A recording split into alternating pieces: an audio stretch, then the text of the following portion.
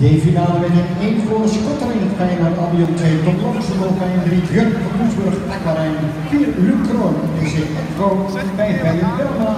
RTC Nova 6 Niels van ZPC Hoofdveen 7 Twanwinner Zwetclub IJsden en 8 Ruben Stad voor de Dolfijnen. Inzet natuurlijk je mooie tijden van vanmorgen verbeteren, maar er staat ook nog een soort IDK prestatiereis van 50 en 80. En heeft al eens de 200 meter limiet gezwommen. Hoe gaat dat worden met deze kanshebber? Nu in baan 4. Kan hij boven zichzelf uitstijgen in deze race? Of is 50, 88 voor hem de hoogte gegrepen? We gaan kijken bij de finish. Hoe komt hij uit? En daar is de tijd, was net even te hoog gegrepen. Een hele mooie 51-11 van Lucro.